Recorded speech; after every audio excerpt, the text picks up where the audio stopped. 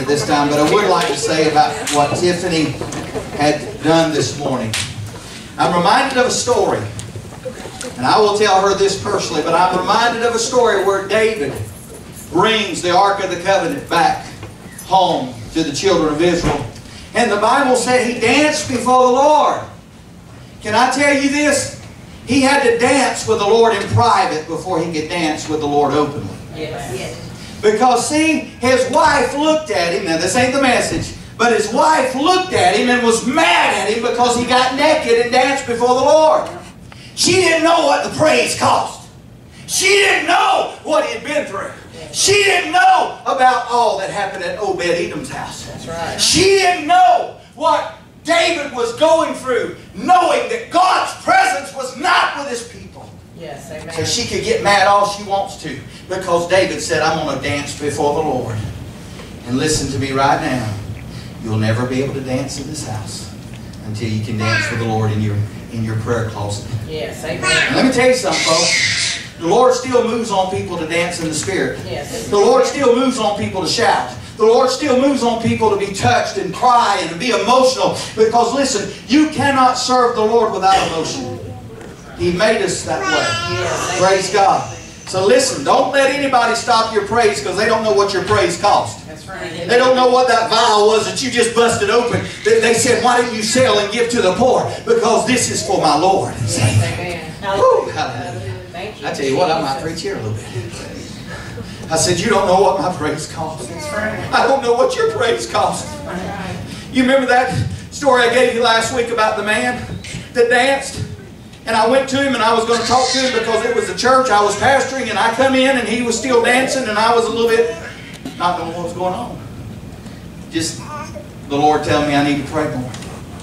Because I went to him. And I told you this.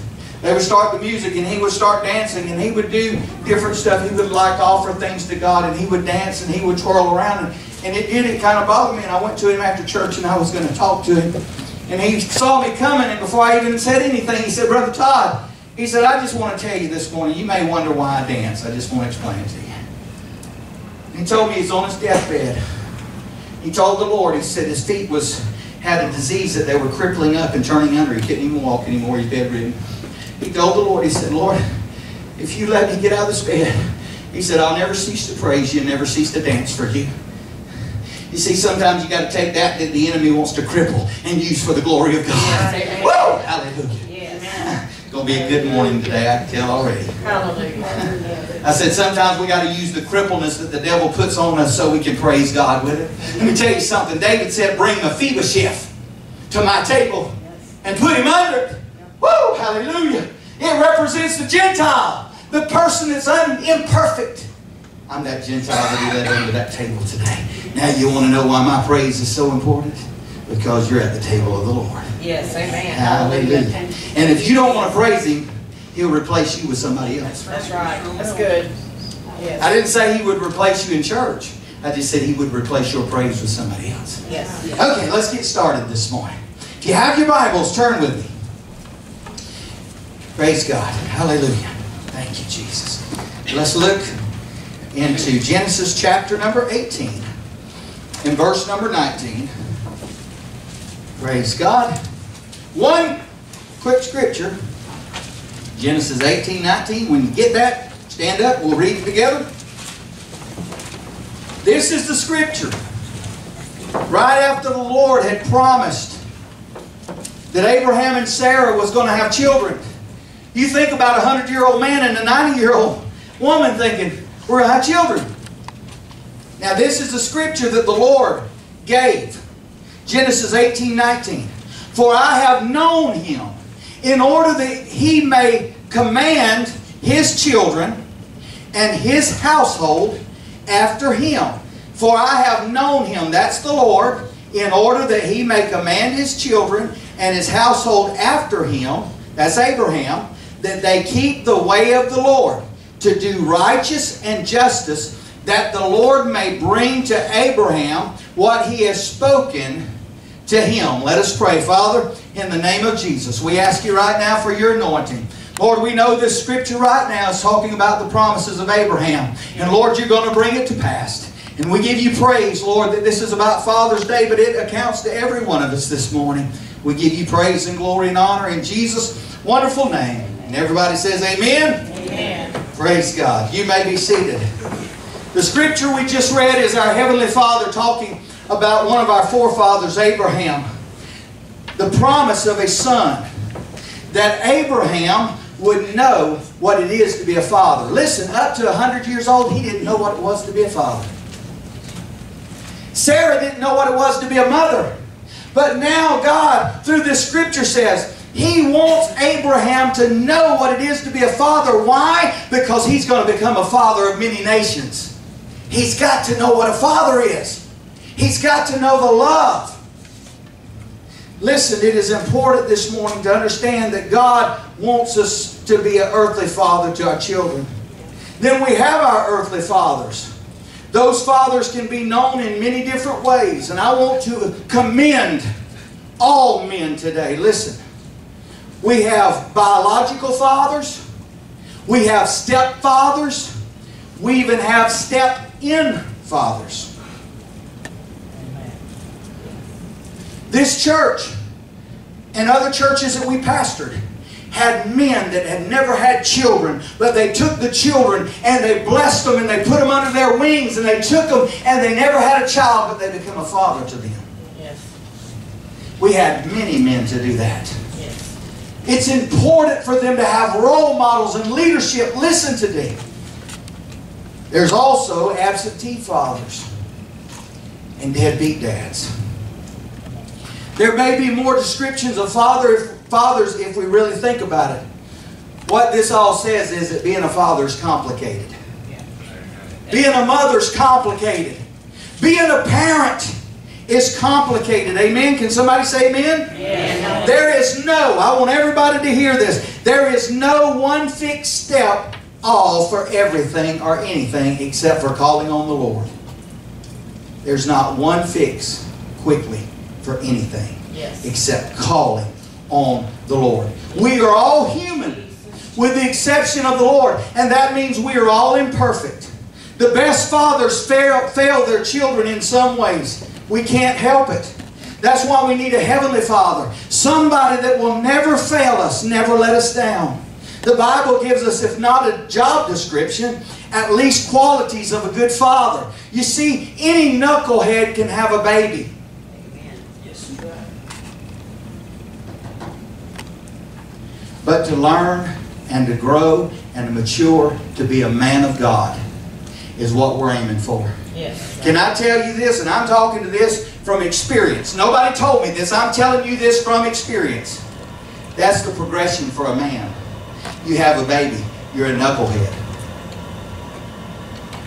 My wife took care of the babies. I was a knucklehead. Amen? But the Lord wanted to take that knucklehead and make him a man of God. He wants to do that to every one of us. But unless we recognize that we need His help, it takes God to be a father. Yes. Amen. It takes God to be a dad. Yes. Somebody dependable, somebody that's always there. Moms, too, it's just as important. We all need the Lord. We need His strength and His mercy. This morning, I just want to share seven things a godly father does. Seven things we fathers need to strive for. The first one, a godly father that they do, the first one is he is a teacher for their children. Do you remember that Jesus said the greatest command was to love the Lord with all your heart, with all your soul, and with all your strength? Deuteronomy 6 5. But the scripture doesn't stop there. Does everybody remember what it says next? The command doesn't stop. There's no period or comma. It continues in verse number 6. And these words, now remember first that I'm going to love the Lord with everything that I have. Then, verse number 6. And these words which I command you today shall be in your heart. You shall teach them diligently to your children. You shall talk of them when you sit in your house, when you walk by the wayside, when you lie down, when you rise up, tell your children about God. You shall bind them as a, you shall bind them as a sign on your hand, and they shall be as frontlets between your eyes. You shall write them on the doorpost of your house and on your gates. Deuteronomy 6, 6 through 9. Listen to what God is saying here. This is our commandment as parents. God is telling fathers and mothers that we have a responsibility to teach the children, our children, to love God with all of their heart. And He tells them how to do it. Listen to what He says. He tells them how to impress this command on the children. He says, talk about it when you sit down at your house. Or you're walking down the road, or can I say driving down the road, or on your way to road, uh, maybe to vacation. Talk about the Lord with your children. Listen, this is God's word. This ain't me telling you to do this. This is God. He said, when you lie down to sleep, talk about it to your children. Yeah. Make sure you say your prayers. We have a responsibility. Listen to this. He says, and when you get up first thing in the morning, teach your children God needs to be first. Yes. This is what the Lord's Scripture says. Now, I'm not going to ask you to raise your hand, but how many of us do this? It's, it's, it's self for us to look at ourselves and identify within ourselves. Yes. The teaching continues. He says it continues all day long. It never stops. Yes. You know, if there's one thing that your children to know more than anything else is that you love the Lord. Yes, amen. And that you love Him. Yes. With all of your heart. Okay. Now, listen to what else he said. Tie those scriptures in now he says on the forehead and the hands, and write them on their door frames of their house and the gates of the city. Teaching doesn't happen by accident, folks. Yes. You have to teach on purpose. You have to plan it, or it probably won't get done. Fathers, teach your children to love God. Amen. Now think about it. Everything that we do in our home should bring glory and honor to God. Listen to what the Proverb says. Proverbs 22, 6. Train up a child in the way they should go. And when he is old, he will not depart from it. He will not depart from that teaching that you have instilled in them. It didn't say they wouldn't go wayward. Said they would not depart from what you taught them. And if you don't teach them what God says, when they reach that place in their life, they'll fail because they're not looking to God. Yes. You must teach your children. The New Testament says this in Ephesians 6 4 Fathers, do not provoke your children to wrath, wrath, but bring them up in the fear and in the admonition of the Lord. Don't provoke them to wrath. One of the most important things a father does is to teach their children. We're teaching them whether we want to or not, whether it's good or bad. We're teaching them, listen, if, you, if they're absentee fathers or deadbeat dads, they're teaching them that being a father isn't very important. But we that are really fathers, Let's teach our children that being a father is important, and let's teach them that they'll be a good father even if their father wasn't. Right. Amen? Amen? And let them see that the church and that God has the answers for their problems of their yes. life. Amen. You didn't even know there was a sinner, but I'm fixing to tell you about a sinner. This is, the, this is so funny, the National Center for Fathering. You didn't even know there was such a center, did you? It says this. They did a study. And this is what they come up with. I want everybody to listen. Kids observe everything. Yes, they can. That's their conclusion. And that's the greatest revelation of being a parent. How much they observe. This is something we as parents sometimes overlook or even underestimate. Now I want you to listen to this. When we as parents do good things for others, the kids see and they understand how to treat and react and respond correctly. Yes. Now listen to this second part though. When we are not kind or understanding of each other, or we interact poorly with other people, Our children observe and know that as well because they observe everything. You want to know about prejudice, prejudice, racism? That's taught. Yes. It's not instilled by God. Whether you're white or black, or brown or red, or yellow, that has never been instilled by God. That is a lie of the devil. Everything that's happening in America is nothing but a factual falsity of the devil. Yes, That's right. Amen. He has no power, no authority. What God has put together, let no man put asunder. Yes. What God has placed in this church, let no man tear it down, or even the enemy. Yes. Children know. They see us. And whatever you teach them how to react and how to respond to situations is how they're going to live their life. Yes. And can I tell you this? We have now entered into the phase. We've done it in our teenagers and now that it's going younger. To don't respect authority and question everything. And can I tell you something? Sometimes by faith you don't have to question anything. You just accept it by faith. You accept it by faith, the things of God.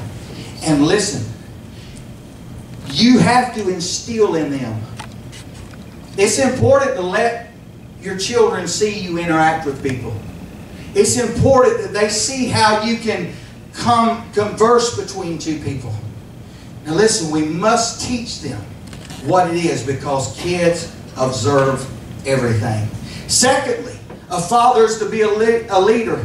The scripture we start out with is our Heavenly Father explaining that the one of our forefathers, Abraham, has led, uh, is to lead or direct his children. It even tells when he is to lead them what to do. The Bible says to keep the way of the Lord. Yes. What way is that? By doing what is just and right. Listen to the scripture again. For I have chosen him so that he will direct his children and his household after him to keep the way of the Lord by doing what is right and just. In other words, living a righteous life. A father leads by example most of all. I love this scripture that's in Joshua that's set up like this. Listen to the scripture. And if it seems evil, he's talking to the children of Israel. And if it seems evil to you to serve the Lord, choose for you yourselves this day whom you will serve. Whether the gods which your fathers served that were on the other side of the flood, are the gods of the Amorites, in whose land you dwell. But listen to what Joshua said I'm not serving either one of them. As for me and my house, we will serve the Lord. Amen. It's a choice. A father has got to stand up in his house and say, This is a house of the Lord, and we will serve the Lord here. Yes. Yes. If you cannot declare that as the man of the house, then you are voiceless in your house. It's a choice. It's leading. Remembering when I was a young man and I was trying to be a leader in my family, but I had a problem. Now I'm going to explain this next part before anybody says anything. My wife didn't necessarily always want to follow my lead. You remember back to that knucklehead? When I got married, my wife would have went to heaven and earth and hell for me. It was in her spirit, it was in her heart. But I messed it all up. Myself. She had no reason to trust me. She had no reason to follow me. Even though I was the man of the house. Because I was living a lie and wasn't living what I was professing and proclaiming. Now, in saying that, now you see where our predicament was. The predicament was I'd let her down so many times, and now it was hard for her to follow me anywhere.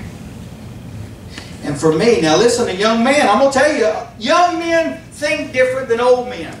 Well, when I get when I get married, I'm gonna get my whip out and I'm gonna put my wife where she needs to be. And can I tell you, if I ever hear a man in here call his wife his old lady, I will take you outside myself.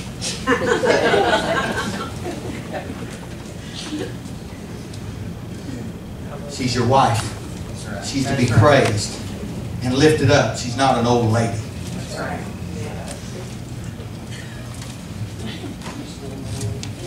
It was very exasperating for me as a husband. Sometimes you just want to give up and let the strongest one lead. Even if that meant the wife leads. But listen, I prayed. I got my life right out, right with God. I prayed and God communicated to me. Listen, this is what He said. That I was to lead. But whether Rhonda followed or not was not up to me. It was up to her. Right. And he told me to do just pray. Now listen to what God gave me the answer. So I would say I think we need to do thus and so. And Rhonda had to have a personal experience with God where he communicated to her to trust me and to follow me. But it took time. It didn't happen overnight.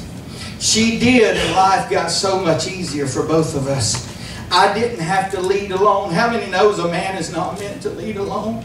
And I'm going to tell you, she is my partner. She is my helper. I ask her advice and we make decisions together. Husbands and fathers, don't shirk your responsibility of being a leader in your household. You be the leader. You stand up from time to time. And don't harp on things, but love your family.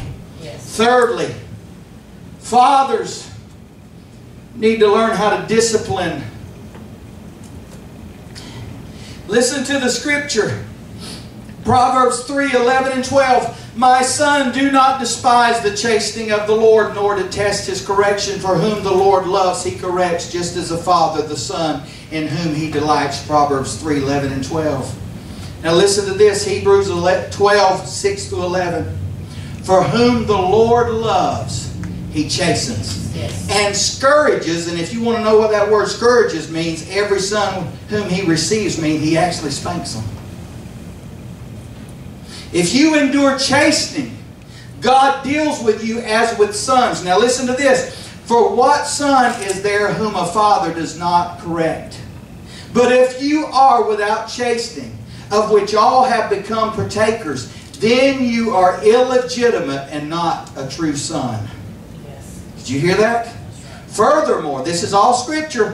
Furthermore, we have had human fathers who corrected us and we paid them respect. Shall we not much more readily be in subjection to the Father of spirits and lives? For they indeed for a few days chastened us as seemed best to them, but he for our own profit, that we may be partakers of his holiness. Now, no chastening seems to be joyful for the present, but painful nevertheless. Afterwards, it yields peaceable fruit of righteousness to those who have been trained by it. What is that talking? Discipline is not easy, but it's needful.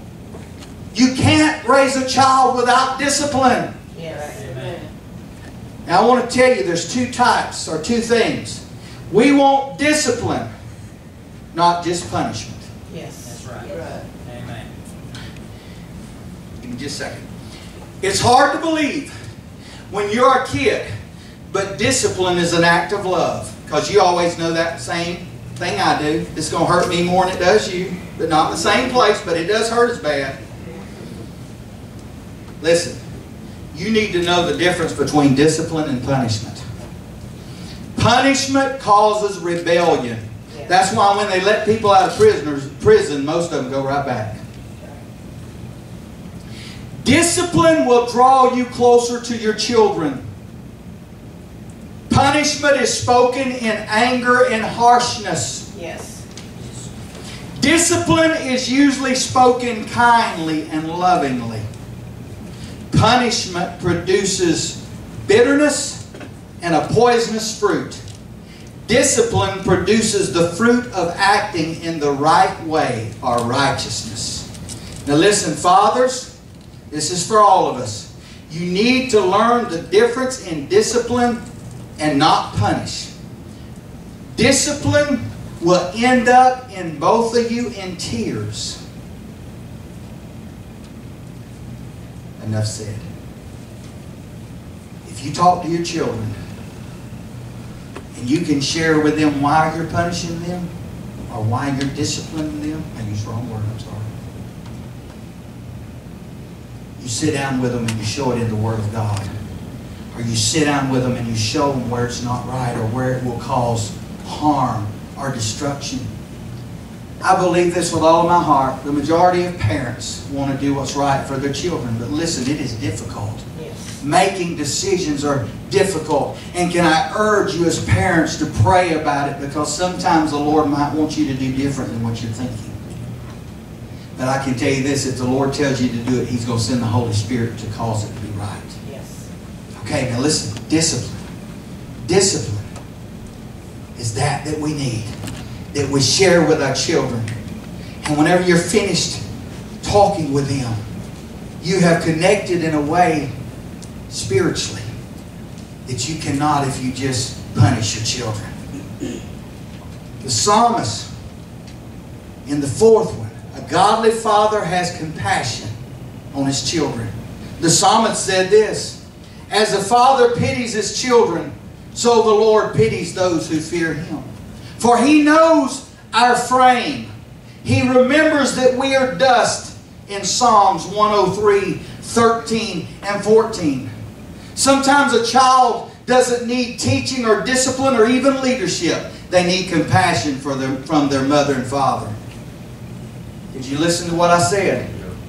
Sometimes a child doesn't need teaching, discipline, or even leadership. They need a compassionate parent that will put their arms around them. A dad that will cry with their sons and daughters. A mom that will cry with their sons and their daughters. Yes. They need to know that you care. We've said this our whole ministry. People don't care how much you know. They want to know how much you care as a pastor. Yes. They don't care how, how intelligent you are. They want to know you do you love me. Yes. Amen? We got to show our kids that we care, that we love them above everything else, above grades, above their wrongdoings, above their right doings. We love them. Yes. Amen. Right. Listen, I, I was one of the hardest ones to learn this lesson because I was always in a household that was strict to follow the letter of the law. And it caused me to be hard when I got older too. The Lord had to soften my heart and teach me how to love my children properly. They need to know you feel their pain, their passion. Isn't that what compassion is? Sharing someone's pain? Yes. It's hard for a man to do because we don't want to look like a sissy or a softy. But Jesus was a compassionate man, amen? Yes. He even wept over a couple of occasions. The death of his friend Lazarus, he wept over. Going into Jerusalem and looking at that city, he wept over that city because he loved her so much. Hallelujah. Jesus wept. Man, men, don't be afraid to weep. There's nothing wrong with your children seeing you cry. And I was raised up, my dad was raised under his parents, was raised up, never let anybody see you cry. You remember that generation? Come on, amen. Don't ever let anybody see you cry. But can I tell you this? It's like a pop-off valve. If you don't cry every now and then, you'll go insane later. Because you got to get it out of there. It'll start running around in your head, and pretty soon it will overtake you. We've got to have compassion for our loved ones. We've got to have passion, compassion for our family. Fifthly, a godly father is there for you. He is not an absentee father. Listen to our Heavenly Father's witness, and this is found in Matthew 28 19 and 20. Then I said to you, Do not be terrified or afraid of them. The Lord your God, He goes before you. He will fight for you according to all He did for you in Egypt before your eyes and in the wilderness where you saw how the Lord your God carried you as a man carries his son. Whew. in all the way that you went until you came to this place. Deuteronomy 1 29 through 31, and this is Matthew 28 19. Go therefore and make disciples, all of the nations, baptizing them in the name of the Father and the Son and the Holy Spirit, teaching them to observe all things that I have commanded unto you. And lo, I am with you always, even until the end of this age. Matthew 28 19 and 20. A godly father is there for his children, he makes time for them, he makes a way for them. But that is not always the case here on earth. That is why we need a heavenly Father. I wish I could be there for my children and my grandchildren, and I'm going to be there as much as I can. But I'm human and I have human limitations. We have a Heavenly Father who can be there always and forever. What we can't do, God can do. Our job is to lift the children up, teenagers, all ages, up in prayer to the Lord and to be there for them. Let them know that you are there for them. The number one thing that is missing from our homes. I was thinking about this the other day, and I've kind of jotted down a few things. It's not finished, so don't think it's uh, that great. But I was thinking, we're now living in generations. Right now, we're getting into a generation of people that have never lived without a cell phone. We're now living in a generation where kids, most kids have never stayed at home with their parents. They go to daycare. That, that's the generation we're living in. We're living in a generation where things are changing. They're, they're different than whenever I was a child and you were a child. And, and some of you were in that generation. And I'm not, I'm not down in that generation. I'm just trying, trying to tell you that the mindsets has changed over the years. And I'm afraid some of the things that it tries to teach, the world tries to teach the church is that you're not who that God says that you are. Yeah. Amen? How many knows? And I'm not just stating this, but a lot of your colleges, even some of your colleges that was built on Christian principles today, now teach against Christianity and living for God. When kids go to school, they're not hearing anything about it. They're just hearing about education. Let me tell you something, education is great, but it can't do anything without God. Amen. You can be the smartest person in the world and wind up in a crack attic house with an intelligence of 150 IQ. Because it's not about intelligence. It's about the Lord. We try to point everything we can to everything else except for God. We've got to be there for our children. We've got to be there for one another, no matter what happens. But listen, here's the key. And I'm going to say this and then we're going to get to the sixth one. When you send your kids somewhere that you cannot go, say a prayer over them and God will cover them. You cover them as much as you can. But when they're going somewhere you can or they're doing something you can't go with, you cover them with a prayer and God will cover them. Amen. Six. Almost there. A godly father provides for his children. This gets a little rough at times. He may not provide their wants, but he provides what they need. Listen to what the Bible says. If you don't provide for your family, you are worse than an unbeliever or an infidel. That's pretty heavy, isn't it? If you now this isn't talking about a sinner, this is talking about a Christian. If you do not provide for his own, especially for those of his household, he has denied the faith and is worse than an unbeliever or an infidel. Well, there it is in black and white. If we fathers do not provide for our family, we have denied the faith and are worse than an unbeliever. We have an obligation to provide for the needs of our family. And not just material, but fi- our financial. There's emotional needs, spiritual needs. Jesus describing our Heavenly Father, describing Him compared to an earthly father. This is found in Matthew 7 and 9. Or what man is there among you who, if he has a son that asks for bread, will give him a stone? Or if he asks for a fish, will he give him a serpent? If you then, being evil, know how to give good gifts to your children, how much more will your Father who is in heaven give good things to those who ask him? Yes. Listen, Jesus portrays a good earthly father as someone who provides good gifts to his children, Yes. good food to them, provides protection, provision.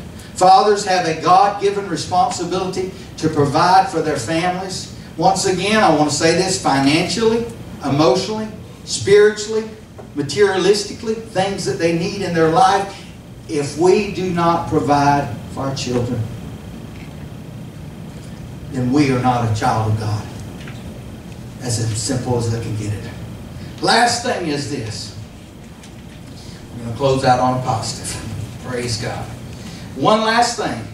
In 1 Corinthians 13 and 13, the last part of that chapter says, And the greatest of these is love.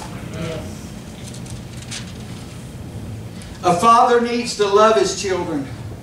How do you do that? You know, the wonderful thing about the Bible is it tells us how to do everything. Right. We just find it. This is found in 1 Corinthians chapter number 13, verses 4 and 8. Now I want you to hear what love is. Love suffers long and is kind.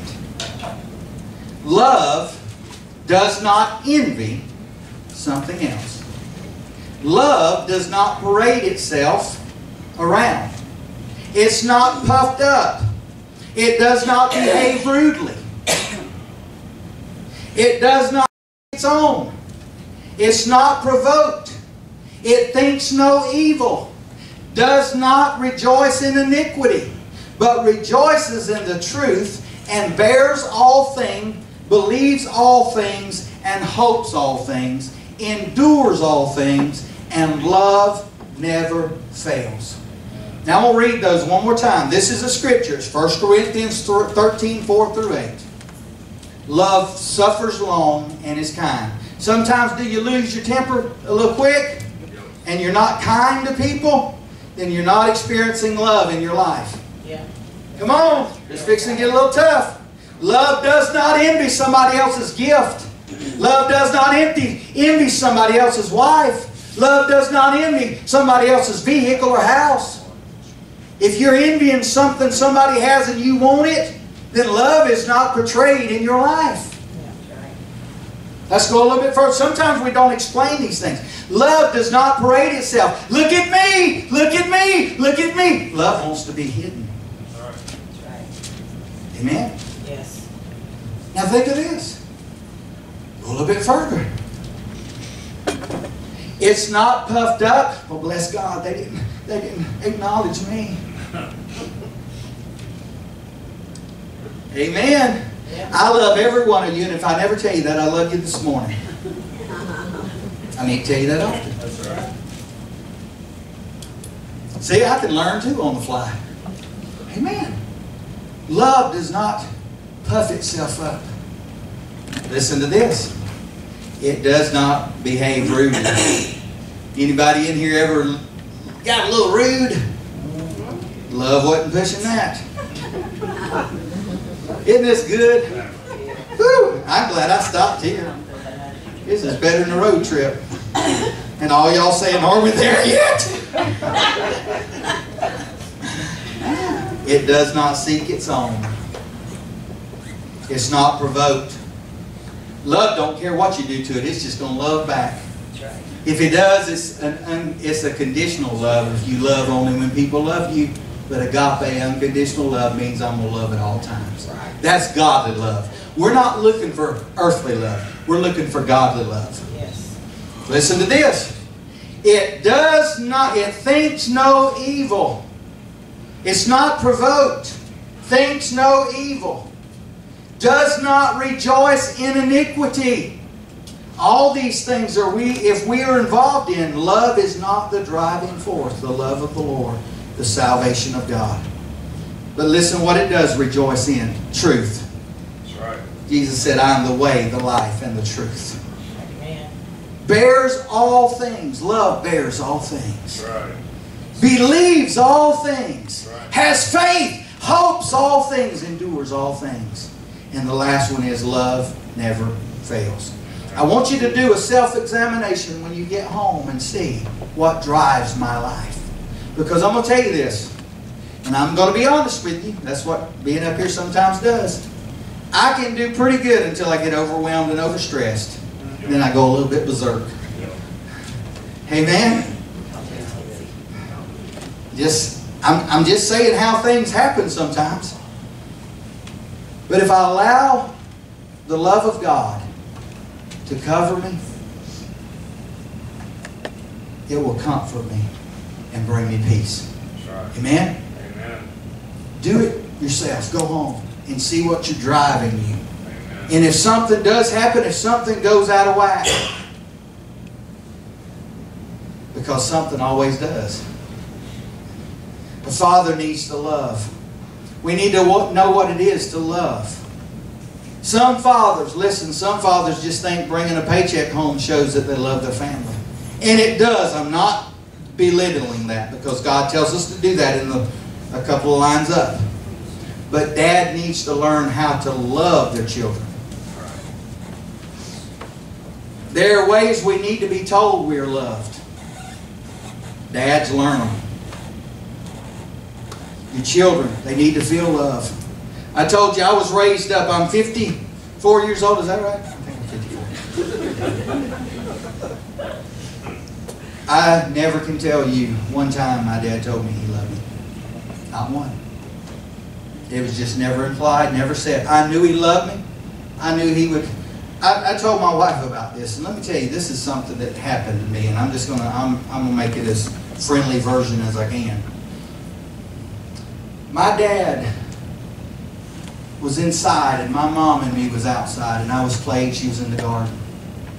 She had made a flower bed in the front yard, and this man drove up, and um, my mom went out to where he was to see what he wanted to, uh, what he wanted. And immediately she took off running inside. He sped off and peeled out. And she went in and told my dad something, and my dad come running out and got in the car and grabbed me and grabbed my mom, and I was scared to death. I was probably about nine years old. We took off. There's a bat that comes out of somewhere. We flew past him.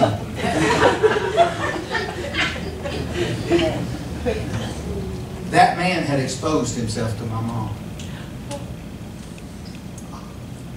We drove for 10 miles through Pensacola, through red lights and stop signs, and did not stop. My dad was going to take care of him when he got here.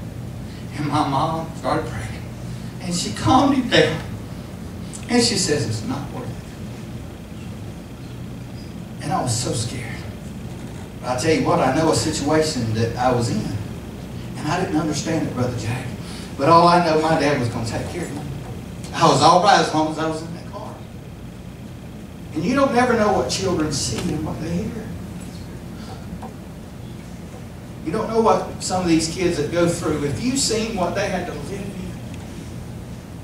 if you seen what they had to eat at night, if you seen what they had to lay their pillow down, we're not talking about third world countries. We're talking about people in America and even people in our own neighborhoods Right. that don't have electricity Right. and running water. Right. Don't tell me that this world don't need love. Learn how to tell your children that you love them. Yes. Let them know above everything else. And me and Sister Rhonda, we talked about this with our kids as well. It's our relationship with the Lord. Then it's our marriage. Then it's our kids. Then it's our church. Right. That's the formula for God. That's right. It's Him first. It's our marriage. And we had to learn that with our kids. It was our marriage. And then it was our kids. Right. And then it was the church. You've got to learn it. You've got to learn how to love and how to teach and how to share. There are ways that we must do it. As I said, my, my dad didn't do it for me. So therefore, it's thrusted into my generation. Another generation. The one thing about mothers and fathers, and you can say whatever you want to, but I'm just going to point to the statistics.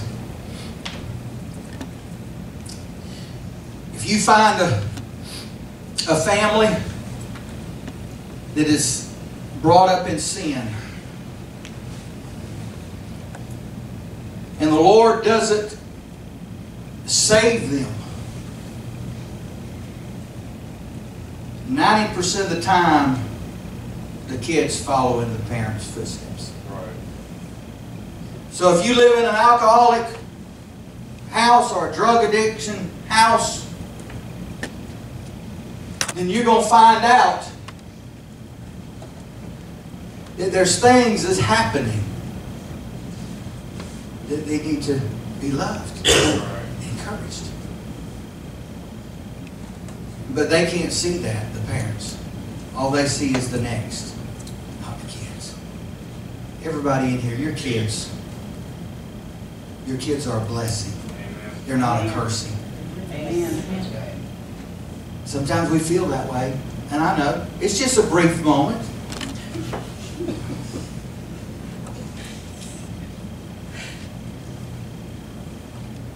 They're flesh of our flesh. Yes, amen. As my mother-in-law would say, bone of my bone, blood of my blood. But whenever they walk in this church, spiritually speaking, they're blood of my blood, bone of my bone, flesh of my flesh. I'm not talking about only my children, I'm talking about everyone that's here, spiritually speaking. We need to share love one for another. As I shared with you the last part, it's hard when you do not give something to your children. And as I said a while ago, we, we, we do have a, we do call it a generational curse. But there's one thing about it, the blood of Jesus can break any That's right. curse. That's right. Any curse. But may I suggest to you this morning, if there's a line that's coming through your family and it's not what it needs to be, can you break that line today? Can you break it? That generational curse. I'm not going to live under that curse any longer. How many knows today there's enough curses in this world for us to live up underneath one? Amen? I'm going to close out with this today. It's hard being a father today. It's always been. That's why after you have done your best, you lift up your family to the Lord in prayer. You bring them to church. You go to Bible study with them. You have devotions with them. But above all, introduce them to their Heavenly Father. And you will have done what God has placed your children in your hands to do. There's one thing that we do as parents. We had one not too long ago, a baby dedication. When God gives a, a parent a baby, we as a church, we feel like that we can take that baby, that God gives it to us to raise and to care for. But the baby belongs to the Lord. That's right. We dedicate it back to God.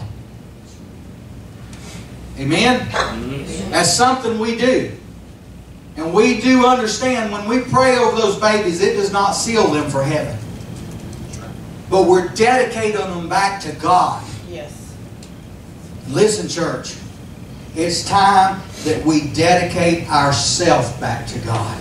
Amen. If we could stand to our feet right now. I know I gave you a lot of things this morning, but I'm telling you there are things that will help as far as a parent. Mothers and fathers, not just fathers, Yes. Hallelujah. but together, along with the church, along with the Lord, everything working for the goodness of God's anointing and His, and His Word in our life. Lord, we thank you today We thank you for the earthly fathers that are here. We thank you for the mothers that are here. God, give them a special anointing, God, to minister to their children, to meet the needs of their family. Not only the mothers, but the father and the mother together. Lord, as a unit, as one. When we get married, God, you say those two become one. And now they're single. That marriage is together. And Lord, whenever we have a family and those children come into our family, they're still one. It's still one.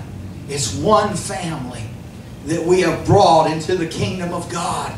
And Lord, that you're watching over today. I ask you right now to lift us up and to strengthen us today. God, give us a love that'll go beyond what we're doing in our children and grandchildren's life. Lord, help us establish and instill in them the Word of God, that they would hide it in their heart that they might not sin against you. But Lord, our children will never hide their Word in their heart until we teach them how to hide it in our hearts. That's right. Lord, let us be an example today. I pray right now for everyone that is in this building, God.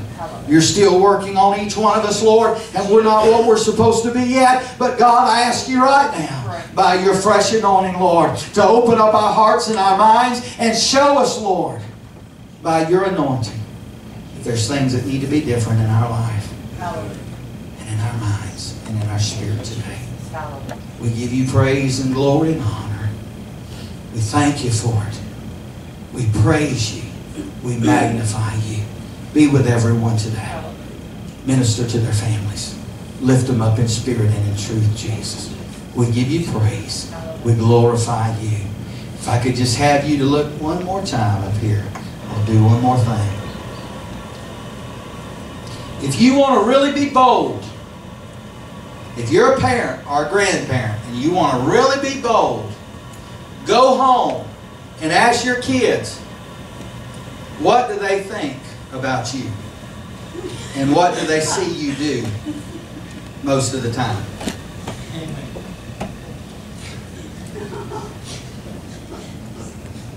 When they answer the question, be big enough to accept what they say because it's probably not going to be flattering because our examples for our children are not up to standard. Amen? Amen. Are you willing to do it? Just do it. I mean, thi- this is how we grow. You see what's wrong with what's been wrong with the church too long is this. We find a problem and then we just pray about it and hopefully it disappears. And how many knows that never happens? Anybody ever look behind you and see the snowball getting bigger and bigger? Sometimes the Lord says we need to address things Yes.